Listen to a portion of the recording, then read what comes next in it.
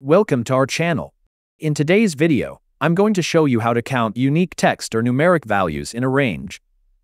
First, create a named range. Select the range you want to name. Click the name box and type data. Use the COUNTIF function to count unique values in the selected range.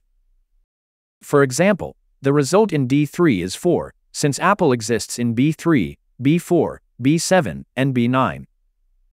Let's modify the formula.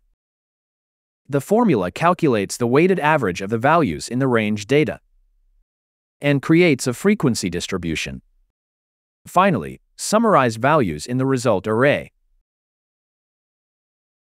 The formula works fine with numbers too.